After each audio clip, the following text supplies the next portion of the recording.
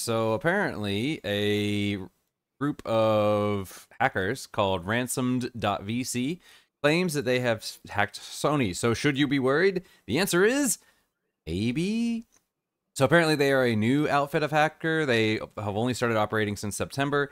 They claim to be a secure solution for addressing data security vulnerabilities within companies while also operating in strict compliance with GDPR and data privacy laws. In cases where payment is not received, we are obligated to report a data privacy law violation to the GDPR agency. End quote. So basically, what they're saying is we hack uh, various groups and steal their data, and then we demand ransom for it.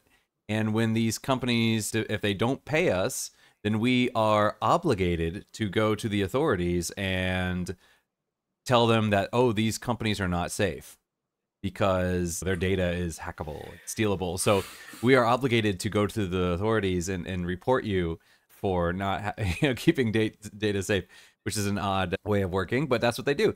And basically, to provide proof that they have hacked Sony, they have provided screenshots of Sony's internal login page, an internal PowerPoint presentation outlining test bench details, several Java files, and a document tree of the entire leak, which is just under 6,000 files.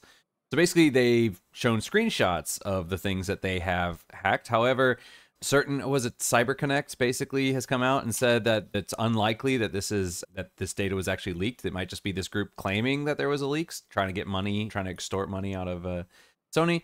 However, it has yet to be confirmed one way or the other. The group did say that they have a post date set for September 28th, so that's tomorrow. So they said that they left details for Sony to contact them, uh, but they also said we have successfully compromised all Sony systems. We won't ransom them. We will sell the data due to Sony not wanting to pay. Data is for sale. We are selling it. However, they have not put up a sale price yet and they say that they're going to dump everything tomorrow if Sony doesn't pay or nobody buys it, which again, they haven't put up a price. But yeah, Sony says that they are looking into it, and one way or the other, we should know tomorrow because they claim that they're going to be dumping all this data tomorrow if nobody pays for it. But yeah, should you be worried?